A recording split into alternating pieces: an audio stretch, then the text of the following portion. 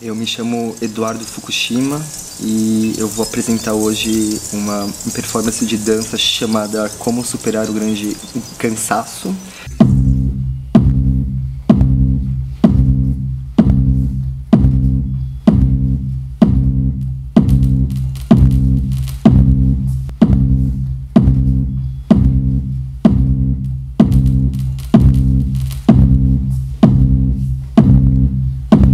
Uma pergunta, eu não tenho respostas para essa hum, pergunta, eu só desenvolvi ela em linguagem corporal.